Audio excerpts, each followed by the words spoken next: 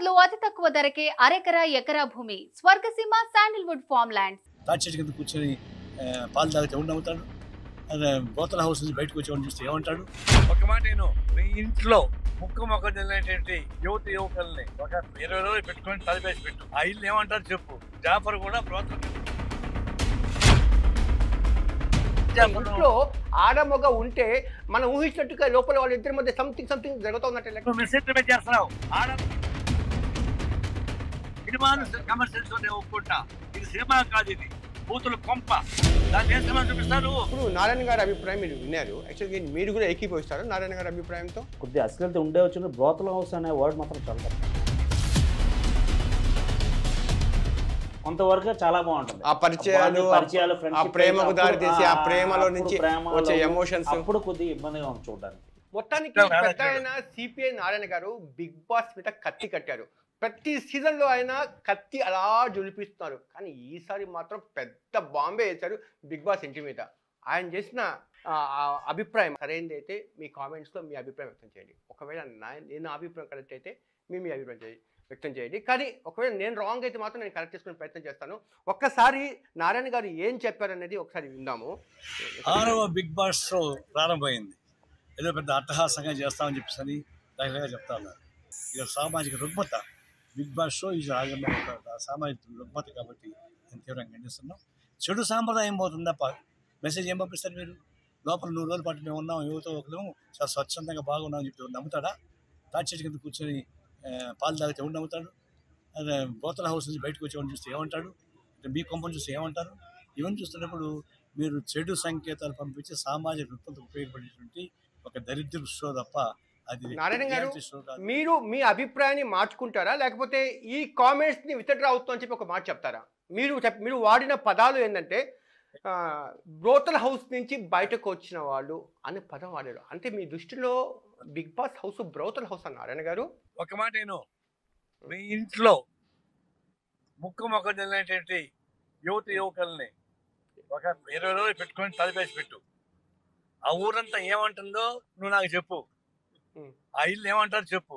జాఫర్ కూడా బ్రోతల కంపెనీ నడిపిస్తాను అంటారు తప్ప అది సంసార కంపెనీ ఎవరు చెప్పరు. మీ-.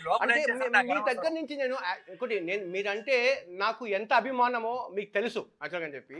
కానీ ఈ- ఆరోపణ సార్ ఆ బిగ్ బాస్ హౌస్లో పెళ్ళి కాని అమ్మాయిలు ఉన్నారు పెళ్ళైన వాళ్ళు ఉన్నారు బయటకు వచ్చిన తర్వాత సవ్యంగా వాళ్ళు కాపురాలు చేసుకుంటున్నారు పెళ్ళి కాని అమ్మాయిలు.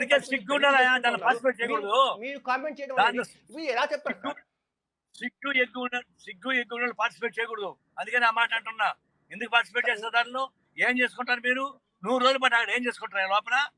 అంటే మీ చెప్పు, నూరు రోజులు సార్ నేను బిగ్ బాస్ హౌస్లో పోయి వచ్చాను నారాయణ గారు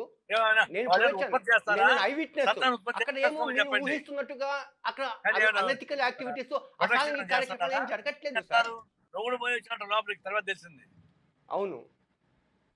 సార్ ఇప్పుడు సమాజానికి ఉపయోగం అంటారు. అంటే సమాజంలో జరిగే ప్రతి చర్యకి ప్రతి యాక్టివిటీకి సమాజానికి ఉపయోగం ఉండాల్సిన అవసరం లేదంట సార్. కొంత ఎంటర్టైన్మెంట్ కూడా ఉంటుంది. బట్ ఇక్కడ సమాజానికి ఉపయోగ- లేదని చెప్పడం ఒకటి.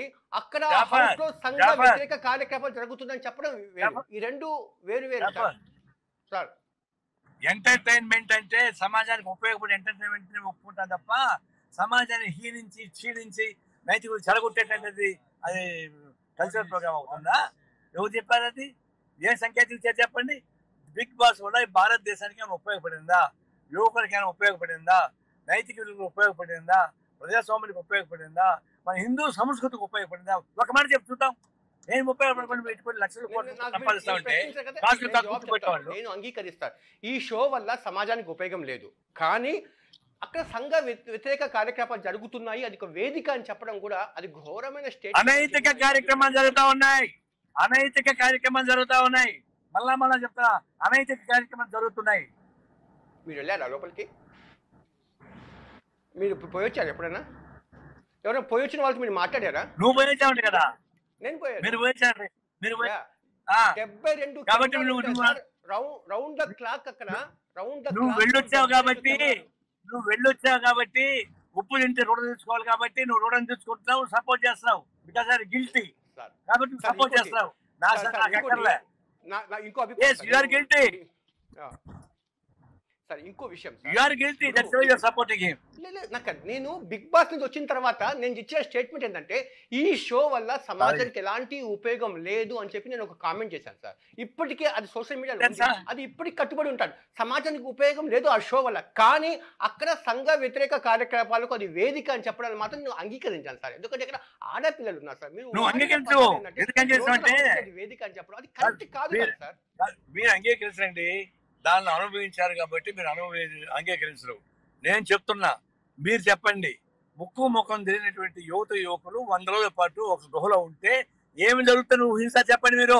ప్రజలకు ఏం చెప్తారు సమాధానం? సినిమా థియేటర్ చెప్పు. ఆడ మొగలు కలిసి సినిమా షో సినిమా చూస్తారా? మూడు గంటల సేపు. అక్కడ చూసుకో. సినిమాలు చూసుకో. సినిమాలు చూసుకో. రసమండలో గురించి మాట్లాడుకో. కొండల్లో గుహలేపో నీ ఇష్టం వచ్చినట్టుకు పో నాకు అభ్యంతరంలే నూరు రోజులు అదే రెండు గంటల సినిమా. ఆ రెండు గంటల సినిమా కొంపలే మునిగిపోవు. కానీ నూరు రోజుల పాటు ఉంటాను యువత యువకులు అక్కడ. ఏ ఇప్పుడు చెప్పు సినిమా ఎంతసేపు చూస్తారండి? ఒక గంట రెండు గంటలు చూస్తారు. ఆ ఒక గంట రెండు గంటలు ఏం జరిగిపోతాయి? పక్క పక్కన పట్టుకుంటారు, ఉంటాయి కానీ వేగాలి కదా వంద రోజుల పాటు నువ్వు లోపల కూర్చొని నేను చాలా పచ్చిమట్టాను నమ్ముతానయ్యా మరి చెప్తావు కానీ నువ్వు. ఒక్క బాత్రూమ్ దగ్గర తప్ప అన్ని చోట్ల కెమెరాలు ఉంటాయి సార్. అంత సరౌండింగ్స్తో ఉంటుంది సార్ మొత్తం అక్కడంతా. జాఫర్ ఇవి చాలా చూసావు నేను? అది సెలెక్టెడ్ సెలెక్టెడ్ ప్రైజ్ పడతాయి తప్ప పడవు ట్వంటీ ఫోర్ అవర్స్ లైవ్ పెట్టరు వాళ్ళు. లైవ్ పెట్టి కూడా సెలెక్టెడ్గా పెడతారు. అవన్నీ నాకు తెలిసే జాఫర్ అంతా చూసాం కదా మాట్లాడినాం కదా. ఎందుకు కప్పించుకుంటాను ఆయన నువ్వు? మిమ్మల్ని చూసి అంతా మేము విద్యార్థి రాజకీయాలు పెరిగిన వాళ్ళం సార్. నేను మీతో ఆర్గ్యుమెంట్ చేయడం నాకు ఉద్దేశం నాకు ఉద్దేశం కానే కాదు. చేసుకుంటున్నాను. లాస్ట్ ఎపిసోడ్లో వాస్తవాన్ని చేశారు సార్. జాఫర్. జాఫర్ వాస్తవాన్ని అంగీకరించడానికి నీకు ధైర్యం లేదు. కాబట్టి నువ్వు భయపడుతున్నావు. నాకు ధైర్యం ఉంది. నేను చెప్తా ఉన్నా. నువ్వు తాటి చెట్టు కింద కూర్చొని. పాలు వాడు నమ్ముతాడా? చెప్పా ఒక మాట? ఇంట్లో ఆడ మగ ఉంటే మనం ఊహించినట్టుగా లోపల వాళ్ళ ఇద్దరి మధ్య సంథింగ్ సంథింగ్ జరుగుతున్నట్టే లెక్క. నువ్వు మిస్ఇంటర్ప్రిట్ చేస్తున్నావు. ఆడ ఒక ఇంట్లో ఎవరు ఉంటారు? అన్నలు తమ్ముడు ఉంటారు. అక్క చెల్లెలు ఉంటారు. మొగుడు పిల్ల ఉంటారు. అంతేగాని అక్కడ అలా ఉండొచ్చు కొత్త కదా? కొత్త కొత్త కొత్త రోజు ఒక రోజు ఉంటారు. చుట్టాలు ఒక రోజు ఉంటారు. చుట్టాలు పక్కన ఒక రోజు రెండు రోజులు ఉంటారు మూడు రోజులు ఉంటారు నాలుగు రోజులు ఉంటారు. సంవత్సరం ఒక సంవత్సరం ఉంటారా? అది ఒక పరిచయం లేని వాళ్ళు. మన ఇంట్లో సీజన్లో మన ఇంట్లో పరిచయం ఉన్న వాళ్ళు వస్తారు తప్ప పరిచయం ఉన్న వాళ్ళు రారు. కానీ అక్కడ ముక్కు ముఖం తెలియని వాళ్ళు యువత యువకులు పిట్టపెట్టలాడే వయసు ఉన్న వాళ్ళు నూరు రోజుల పాటు నాడు కూర్చున్నారంటే ఏ సంకేతం పోతుందో చెప్పు నువ్వు. సార్ సార్ ఇప్పుడు ఒకటి. మీకు బిగ్ బాస్ నుంచి ఇన్విటేషన్ వస్తే మీరు వెళ్తారా ఒకసారి? జస్ట్ చూసి రావడానికి ఉంటే వెళ్ళండి సార్. ఎందుకంటే మీరు ప్రతి సీజన్ గురించి ఒక పెద్ద పెద్ద బాంబులు వేస్తున్నారు కాబట్టి అసలు ఏం జరుగుతుందో అటువంటి పనికి మనం బ్రోతలు వస్తున్నాను మొమ్మంటావా? అంటే నేను పోయింది ఇప్పుడు? నీకు నువ్వు గిల్టీగా కాబట్టి అది చూస్తున్నావు. నా ఉద్దేశంలో. నా ఉద్దేశంలో నువ్వు కూడా తప్పు చేసినావు. నువ్వు కూడా ఒక తప్పు చేసినావు. వరకు మీ అభిప్రాయం ఓకే సార్. నేను ఒప్పుకుంటా సార్. ఒక ఎక్స్టెంట్ వరకు మీ అభిప్రాయం ఒకటి. దీనివల్ల అది నా అభిప్రాయం నాదండి. నీ అభిప్రాయం నీది. నా అభిప్రాయం నాది. నా అభిప్రాయం మొత్తం నువ్వెవరివి నీ అభిప్రాయం నేను మార్చడం లేదు. నా అభిప్రాయం ఇట్లా ఉంది. మళ్ళా చెప్తా మళ్ళా చెప్తా మళ్ళా చెప్తా. అది ఒక భూతల హౌస్ తప్ప అది బ్రోత్ ఇంకోటి కానీ కాదు. అదే ఒకటే. మీ- మీ అభిప్రాయం నిశ్చిత అభిప్రాయం ఇది. మీరు మారే అవకాశం అభిప్రాయం ఏంటంటే సామాజిక స్పృహ ఉండేవాడు సరే. అతిశక్తి. సామాజిక స్పృహ ఉండేవాడు సరే. స్పందించాల్సిందే సామాజిక స్పృహ. డబ్బుల కోసం కక్కుర్తి పడేవాళ్ళు గురించి నేను చెప్పలేను. అంటే డబ్బుల కోసం కక్కుర్తి పడేవాళ్ళు సామాజిక స్పృహ లేని వాళ్ళు బాధ్యత రాయితీ ఉన్నవాళ్ళు దాన్ని పొగడొచ్చు. నేను పొగడాను కదా. అవును. అంటే ఇప్పుడు సినిమా హాల్ ఇప్పుడు ఇదే కామెంట్ మన సినిమాలు కూడా సినిమా హాల్ మళ్ళా అంటావే ఇంత- సినిమాలో రెండు గంటలు. రెండు గంటలు ఏం జరిగిపోతుంది అక్కడ? జాఫర్ రెండు గంటల సినిమా ఏం జరిగిపోతుంది అనుకుంటావు? ఇది నూరు రోజులు కన్ను రెండు గంటలు కదా ఇప్పుడు ఇప్పుడు ప్రతి సినిమాలో సామాజిక సందేశము సామాజిక ఉపయోగము సమాజం పట్ల ఇది బాధ్యత ఆ డైరెక్టర్లకు కానీ ఆ హీరోలకు కానీ పార్టిసిపేట్ చేసే హీరోయిన్ కానీ ఉందంటారా? నువ్వు అర్థం కదా. బ్లూ అంటే వినోదం అది ఒక వినోదం యాంగిల్లో ఒకటి మనం ఏ వినోదం అండి? బట్టలు పెట్టి ఆడేది వినూత్నమేనా సగం వినూత్నమేనా ఒళ్ళింటి కూడా బట్టలు లేకుండా అది కాకుండా సగం సగం బట్టలు వేసుకొని వాళ్ళ అవయాలు చూపించుకుంటుంటే అది వినూత్నం అది. ఏ వినూత్నం అది? విశృంఖల విశృంఖలమైనటువంటి స్వేచ్ఛ అది. అంతేనా? మార్పుని మీరు మార్పుని మీరు స్వాగతించారంటారు. ఇట్లా పనికి మాలిన మార్పు నేను స్వాగతించను. ఇది అనైతికమైనటువంటి మార్పు ఇది. ఆ మార్పు నేను వ్యతిరేకిస్తాను. మీరు ఎంతనే చెప్పండి. నా మీద ఏమైనా బాంబులు వేయండి కానీ నేను మాత్రం కన్విన్స్ అయ్యి ప్రసక్తి జఫర్. మీరు సమాజంలో ప్రభావశీలంగా ఉన్న వాళ్ళు మీరు. మీ చేసే ప్రతి వ్యాఖ్య ఒక ప్రభావం చూపిస్తుంది. ఇంపాక్ట్ మిమ్మల్ని ఫాలో అయ్యే వాళ్ళు చాలా ఉంటారు. అంటే ఈ తరహా. కామెంట్ చేయడం వల్ల అంటే అక్కడికి రొట్టి మళ్ళా వెళ్ళే వాళ్ళు బిగ్ బాస్లోకి ఇప్పుడు పోయి వచ్చిన వాళ్ళు వాళ్ళందరికీ వాళ్ళ యొక్క వ్యక్తిగత జీవితాల మీద ఒక రకమైన ఇది పడే అవకాశాలు లేవంటారా యాక్చువల్గా? తప్పండి అంటే. సంగతి నేను మీకు చెప్తాను. కాదు. పోవడమే తప్పయ్యా బగ్గు గబ్బు గుంపలకి వాళ్ళు బాధపడితే అన్నం చేయమంటావు? వాళ్ళు పోవడమే తప్పు. ఆ తప్పుని వాడు సముద్రం నా మీద పట్టేట్టు కొడుతుంది? వాళ్ళు బాధపడతా అంటే బాధపడి బాధపడాలని నేను కూడా చెప్తున్నా. వాళ్ళు వాళ్ళ బంధువులు వాళ్ళ మొగుళ్ళు పెళ్ళాలి అందరూ బాధపడాలా? అట్లాంటి పైకి మంది పోతే పంపి పంపించిన మొగుడిని తిట్టాలా? పంపించిన పెళ్ళాన్ని తిట్టాలా? మరి. అంటే మనం అక్కడ ఏం జరుగుతా ఉందో తెలియదు కాబట్టి అక్కడ అంతా ఇలాగే ఏం కూడా ఏం తెలిసేది? ఏం- తెలిసేది జాఫర్?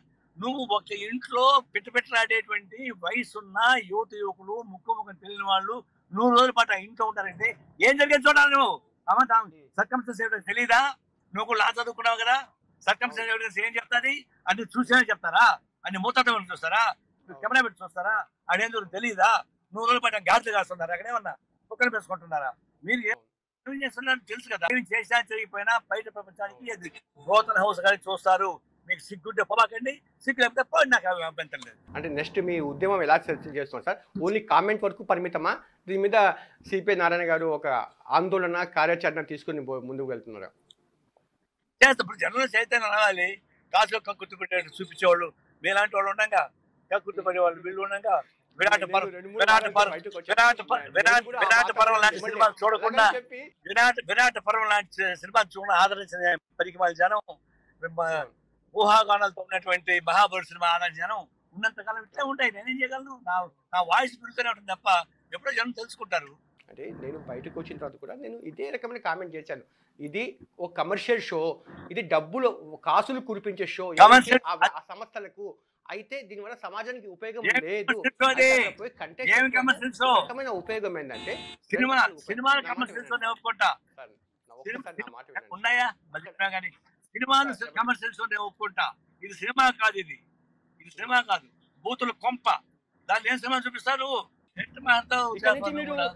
ఇదే వాయిస్ ఓటీటీ మీద కూడా ఫైట్ చేయాల్సి వస్తుంది ఇంకా మీరు ఇంకా ఓటీటీ దీనికి మించింది? కనిపిస్తుంది ఓటీటీ ప్లాట్ఫామ్స్? కూడా ఓటీటీ ప్లాట్ఫామ్స్ మీద కూడా ఇంతకు మించిన? మీరు చెప్పిన ఓటీటీ ఓటీటీ ప్లాట్ఫామ్స్లో కూడా ఓటీటీ. ప్లాట్ఫామ్స్ ఉన్నాయి కదా ఆన్లైన్ ప్లాట్ఫామ్స్ దీనికి మించింది కూడా అక్కడ కనిపిస్తా ఉంది. మీరు మీరు గమనించారు లేదో అని చెప్పి. ధన్యవాదాలు నారాయణ గారు. రేపటి నుంచి మీ మీ చేసే ఆందోళనలో ఉద్యమాల్లో నేను కూడా భాగస్వామ్యం అవుతాను. కానీ ఒకటి మీ అభిప్రాయాన్ని మాత్రం నేను పూర్తిగా ఏకీభవించలేకపోతున్నాను. ఎందుకంటే నేను పోయి వచ్చాను కాబట్టి అక్కడ మీరు అనుకున్నట్టుకైతే బ్రోతల కొంప అయితే కానే కాదు. ధన్యవాదాలు నారాయణ గారు. ఇది బిగ్ బాస్ మీద నారాయణ గారి అభిప్రాయం. ఒకవేళ నారాయణ గారి అభిప్రాయం కరెక్ట్ అయితే మీరు కామెంట్లో మీ అభిప్రాయం కూడా వ్యక్- వ్యక్తం చేయండి. ఒకవేళ నేను తప్పు అయితే కూడా మీరు కామెంట్లో అయితే మీ అభిప్రాయం చెప్పండి. ఒకవేళ నేను ఒకవేళ అన్ని వేళలా నేను కరెక్ట్ కావాలని లేదు కానీ నా అభిప్రాయం తప్పుగా ఉండి ఉండొచ్చు నేను సరిదిద్దుకునే ప్రయత్నం చేస్తాను మన స్టూడియోలో మరో గెస్ట్ ఉన్నారు ఆయన వర్మ సోషల్ యాక్టివిస్టు. నమస్కారం వర్మ గారు. ఇప్పుడు నారాయణ గారి అభిప్రాయం మీరు విన్నారు. యాక్చువల్గా మీరు కూడా ఏకీభవిస్తారు నారాయణ గారి అభిప్రాయంతో? అభిప్రాయం అంటే కొద్దిగా అశ్లీలత ఉండే వచ్చిన బ్రోతల హౌస్ అనే వర్డ్ మాత్రం చాలా తప్పండి. అందులో ఉన్న మహిళలందరినీ బ్రోతలుగా కించపరిచే ఉద్దేశంతో వాళ్ళకి అన్నట్టే వస్తుంది. ఎందుకంటే ఓటీటీలో ఎన్ని ఓటీటీ సినిమాల్లో ఎంత అశ్లీలత ఉందో ఈవెన్గా త్రీ రోజెస్ అనే సినిమా వచ్చింది. చాలా వర్స్ట్గా ఉంది. మొత్తం సెన్సార్ లేదు ఏమీ లేదు. అంతకన్నా అశ్లీలత ఏం కనిపించి ఇందులో అయితే ఏం కనిపించట్లేదు. కానీ ఆ వర్డ్ మాత్రం చాలా తప్పు ఆయన అన్న మాత్రం బ్రోతల హౌస్ ఉంది. ఇంకా చాలామంది చూస్తాం అంత అశ్లీలత అయితే కనిపించట్లేదు. ఏదో ఎంజాయ్మెంట్ చేస్తున్నారు చాలా ప్రతి ఇంట్లో ఉన్న ప్రతి ఒక్కరు చూస్తున్నారు. ఆయన ఉన్నట్టు అంత ఇప్పుడు సిపి నారాయణ చెప్తున్న ప్రకారం ఏంటంటే మన సాంప్రదాయము మన సంస్కృతి ఇవన్నీ మంట కలిసిపోతా ఉంది. యువత దేశానికి వెన్నుముక లాంటి యువత నిర్వీర్యం అయిపోతుంది ఇటువంటి రియాలిటీ షో వల్ల. ఇలాంటి రియాలిటీ షోను బ్యాన్ చేయాలి అన్నది ఆయన యొక్క వాదన. అంత సాంప్రదాయం కోల్పోవాల్సిన ఏం లేదండి రియాలిటీ షోలో మాత్రం. అది దాన్ని చూసి అయితే అంత సాంప్రదాయం కోల్పోవాల్సిన ఇంకా బ్యాన్ చేసి చాలా రాజకీయ నాయకులు వాడే భాష కన్నా ఇది కొద్దిగా బెటర్ అండి మరి చాలా బయట అయితే ఎంత వరుసగా మాట్లాడాలి మాట మాట్లాడాలి సోషల్ మీడియా చాలా చూస్తున్నాం. వీడియోస్ మహిళతో వాళ్ళు మాట్లాడే మాటలు అన్ని డూప్లికేట్ వాయిస్ అని వాటికన్నా ఇందులో అంత అశ్లీలత అయితే కనిపించట్లేదు. నారాయణ గారినే బిగ్ బాస్లోకి పంపిస్తే ఎలా ఉంటుంది? నారాయణ గారు మొత్తం అన్ని గొడవలే ఉంటాయండి. గొడవలు ఉంటాయో లేకపోతే ఆయన కూడా కాంప్రమైజ్ అయిపోయి ఉంటారని చెప్పి. అంటే యాక్చువల్గా బయట ఎవరైతే అగ్రెసివ్ ఫేస్లో ఉంటారో లోపలికి పోయిన తర్వాత అలా ఉండాలని లేదనమాట లేదు కామ్ అయిపోతారు. ఆటోమేటిక్గా కామ్ అయిపోతారు. అంటే ప్రతి మనిషికి ఒక ప్రొఫెషనల్ ఫేస్ ఉంటుంది వ్యక్తిగతంగా ఒక రకమైన ఫేస్ ఉంటుంది. అక్కడికి మీరు ఎక్స్పోజ్ అయ్యేదంతా వ్యక్తిగతంగా ఉండే ఫేస్ ఎక్స్పోజ్ అవుతుంది. ఎక్స్పోజ్ అవుద్ది. కానీ అందులోకి వెళ్తే ఎవరైనా అటు సరదాలో ఉండిపోతారు ఇంకా. అందులో ఏం బయట కామెంట్స్ పెద్ద ఏం చేయరు. ఓకే. మీరు రెగ్యులర్గా ఫాలో అవుతారా బిగ్ బాస్ని? చూస్తున్నాను ఈ మధ్య చూస్తున్నాను. అంటే ఒక ఒక టెన్ ఎపిసోడ్ చూస్తుంటాను. తర్వాత తగ్గించేస్తాను. అంటే సమాజంలో ఒక నారాయణ గారి అభిప్రాయం లాగా కొంతమంది ఇంటెలెక్చువల్స్లో కానీ అబౌవ్ మిడిల్ క్లాస్లో కానీ ఒక సిటీ కల్చర్లో కానీ కొంత వ్యతిరేకత అయితే కొంత? వ్యతిరేకత అయితే ఉందండి. కొంత పెద్దలు ఎక్కడ పెద్ద వస్తుంది ఆ వ్యతిరేకత? ఏదంటే అబ్బాయి అమ్మాయి లవర్స్గా ఉండడం కొద్ది లాంగ్ వెళ్ళి సెట్ అవ్వడం కొంతమంది. కొంతమంది స్టార్టింగ్ కొద్ది మూమెంట్ ఎక్కువ అవడం వల్ల కొద్ది కొందరు ఇబ్బంది పడుతున్నారు. తల్లిదండ్రులు కొందరు ఇబ్బంది పడుతున్నారు దానివల్ల కొన్ని కొన్ని సీన్లో ఓకే. కొంత కొన్ని ఇబ్బంది పడుతున్నారు. తల్లిదండ్రులు అంటే అక్కడ ఉన్న కంటెస్టెంట్స్ ఒక బ్యాలెన్సా లేకపోతే మామూలుగా టీవీ చూసేవాళ్ళు? టీవీ వాచ్ చేసే పేరెంట్స్ మాత్రం కొంతమంది ఫీల్ అవుతున్నారు. వాళ్ళ బిహేవియర్ చూసి కొద్ది కొద్దిగా అక్కడ అంటే మీరు ఇప్పుడు ఫ్యామిలీతో కలిసి ఆ, బిగ్ బాస్ షో చూసే పరిస్థితి కనిపించట్లేదా? చూడొచ్చు అంత. అసలు కాదు. అంటే ఇప్పుడు కాదు స్టార్ట్ అంటే కొంతవరకు ఏంటంటే కొంత పరిచయాలు బాగా పెరిగిన తర్వాత కొంత సోషల్ యాక్టివిటీగా బాగా ఫ్రెండ్లీ బాండింగ్ వచ్చిన బాండింగ్ వచ్చిన తర్వాత అప్పుడు కొద్దిగా బాగుంటుంది. కొంతవరకు చాలా బాగుంటుంది. ఆ పరిచయాలు పరిచయాలు ఫ్రెండ్షిప్ ప్రేమకు దారి తీసి ఆ ప్రేమలో నుంచి ప్రేమ, వచ్చే ఎమోషన్స్ అప్పుడు కొద్దిగా ఇబ్బందిగా ఉంది చూడడానికి. అప్పటి వరకు బాగాలేదు ప్రాబ్లం లేదు. నేను యాక్చువల్ రాత్రి చూసాను చాలా బాగుంది. రాత్రి కంటెస్ట్ అందరూ నేను చూసాను ఈ రోజు మార్నింగ్ కూడా చూసాను ఎపిసోడ్ ఏమైందని ఈ రోజు కూడా చూసాను నేను. అవునా? అంటే సార్ సీరియస్ సిన్సియర్ ఫాలో అన్నమాట మీరు బిగ్ బాస్ కంటిన్యూ చూడను కొంతవరకు చూస్తాను. ఇది బిగ్ బాస్ మీద ఉండే భిన్నమైన అభిప్రాయం. చూస్తూనే ఉండండి సుమన్ టీవీ. నమస్తే.